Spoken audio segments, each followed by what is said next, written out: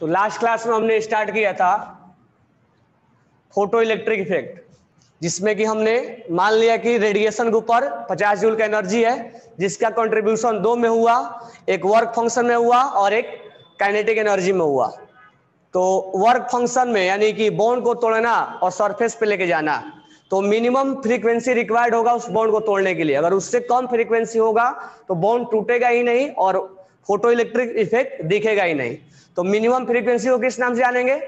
Threshold frequency जिसका value क्या होगा? एच न्यू नॉट ये ई नॉट क्या है? वर्क फ़ंक्शन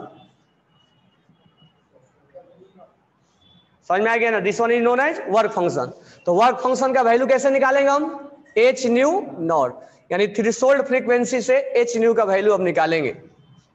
तो E naught equal to W naught equal to h nu naught ऐसे भी निकाल सकते हैं या इसमें इसमें से इसको माइनस कर देंगे तो, तो भी निकल जाएगा। जैसा न्यूमेरिकल्स दिया जाएगा वैसा हम करेंगे। तो लास्ट क्लास में और वर्क फ़ंक्शन सब मेटल के लिए क्या होता है? फिक्स होता है। क्यों फिक्स होता है? क्योंकि बोन का तोड़ना अब हर मेटल के लिए अपना अपना बोन स्ट्रेंथ है।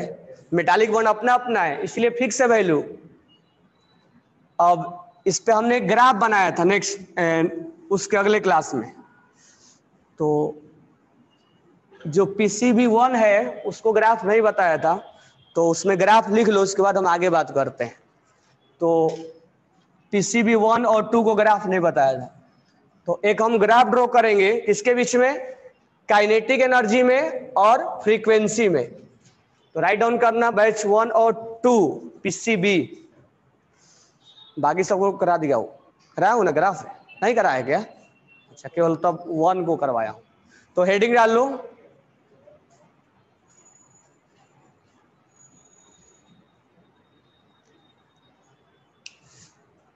Work function is same value of ionisation potential ionisation potential और वर्क फ़ंक्शन थोड़ा डिफरेंस है। आयोनेशन पोटेंशियल में आउटर सेल के इलेक्ट्रॉन्स को बाहर निकाला जाता है। अभी आयोनेशन पोटेंशियल में बोहर में आएँगे। वहाँ क्लियर क्लियर मीनिंग समझ में आएगा। और इसमें मेटालिक बॉन्ड को तोड़ा जाता है। तो मेटालिक बॉन्ड और आयनेशन पोटेंशियल दोनों अलग अलग बातें हैं। हाँ टर्मोलॉजी इसी तरह से हम सोच सकते हैं कि बॉन्ड को तोड़ रहे हैं। तो यहाँ मेटालिक बॉन्ड को हम ब्रेक कर रहे हैं। तो इसके बाद हेडिंग डालना। Graph kinetic energy versus frequency केवल पीसीएम केवल बैच वन को पढ़ाया हूँ वन और टू को, वो भी पीसीएम वन और टू को पढ़ाया।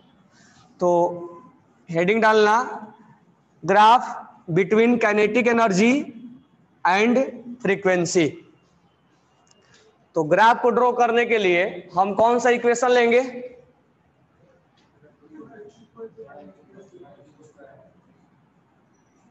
E equal to E naught ये याद रखने का हमेशा।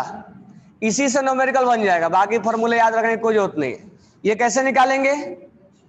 H nu equal to h nu naught plus kinetic energy तो ये वाई एक्सिस पे आना चाहिए और ये एक्स एक्सिस पे आना चाहिए। तो हमें इसको सेट करना होगा y equal to m x plus c पे। सेट करो एक बार। ये डायरेक्ट सेट नहीं है। इसको सेट करना पड़ेगा। इसको y बनाना पड़ेगा। इसको x बनाना पड़ेगा। इसको m बनाना पड़ेगा। बनाओ इसको। इसको सेट करो उस तरह से। ये खुद से करो तो ज़्यादा वो प्रैक्टिस होगा। हम करके देंगे तो ज़्यादा नहीं होगा। खुद से करो। कैसे हम सेट करेंगे?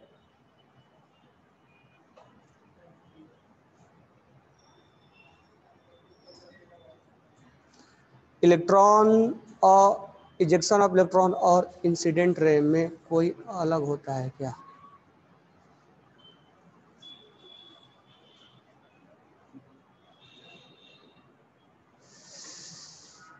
इंसिडेंट रे और इजेक्शन ऑफ़ इलेक्ट्रॉन में कोई लग गया, लग होता है क्या? एक बार फिर से उसको लिख के भेजना सेट कर दिए तो काइनेटिक एनर्जी को पहले इसको इधर लेके आओ। तो इसको इधर लेके आएँगे तो क्या बनेगा? काइनेटिक एनर्जी इक्वल टू मैं लिख दूँ? या मैं डायरेक्ट लिख रहा हूँ? काइनेटिक एनर्जी इक्वल टू इसको इधर मैं लेके आऊँगा। H nu minus h nu naught लिख सकते हम? ये क्या बन गया? वाई ये क्या बन गया? और ये क्या बन गया? सी तो वाई इंटरसेप्ट क्या निकला? वाई इंटरसेप्ट क्या निकला? निगेटिव निकला। यानी लाइन कहाँ से ड्रॉ होगा? यहाँ से। एच न्यू नॉट और ये एक्स है तो स्लोप क्या होगा?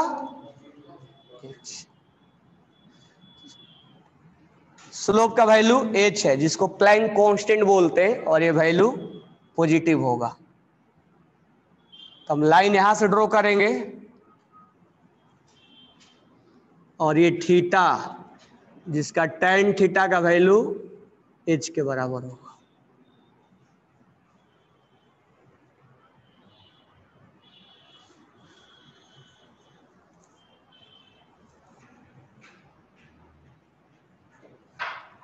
ये हम इस वैल्यू को क्या बोलेंगे? H nu naught that means Y intercept work function आ रहा है।